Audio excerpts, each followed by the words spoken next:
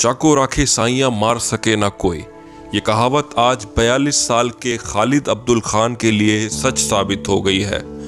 हमने आपको बताया था कि सोमवार को महाराष्ट्र के थाने के भिवंडी में एक 1986 की निर्मित बिल्डिंग बारिश से कमज़ोर होने के कारण टूट गई थी, जिसमें करीब 20 परिवार रहा करते थे।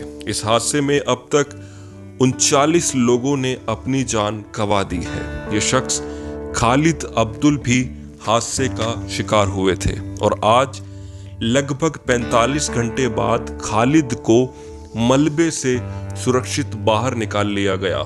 खालिद ने हादसे के 45 घंटे बाद मलबे से ज़िंदा निकलने के बाद बताया कि मलबे में फंसे होने के दौरान मैंने टीडीआरएफ टीम के सदस्य अक्षय पाटिल की आवाज़ सुनी। आवाज़ सुनते ही मेरे अंदर विश्वास जागा कि मैं ज़िंदा बचाया जा सकता हूँ। ऐसे लग रहा था जैसे भगवान ने उसे मेरे लिए ही, मुझे बचाने के लिए ही भेजा था। टीडीआरएफ के सदस्य मेरे लिए फरिश्ते के जैसे थे।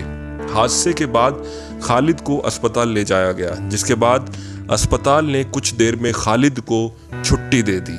खालिद समेत अब तक 25 लोगों को राहत एवं बचाव टीमों ने मलबे से बाहर ज़िंदा निकाला है। गौरतलब है कि बिल्डिंग काफ़ी दिनों से हो रही वर्षा के कारण कमज़ोर हो चुकी थी, जिस कारण तड़के तीन बजकर चालीस मिनट पर सोमवार को बिल्डिंग जमींदोज हो गई ध्वस्त हो गई।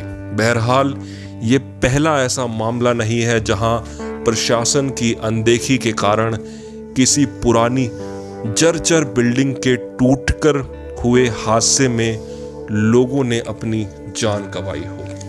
इसलिए प्रशासन की ओर से जवाबदेही बनती है कि आखिर कब तक ऐसी जर्जर जमींदोज होने की आशंका वाली बिल्डिंगों पर एक्शन लिया जाएगा और भविष्य में ईश्वर के सबसे बहुमूल्य रत्न जीवन को यूँ मलबे के सुपुर्द होने से बचाया जा सकेगा।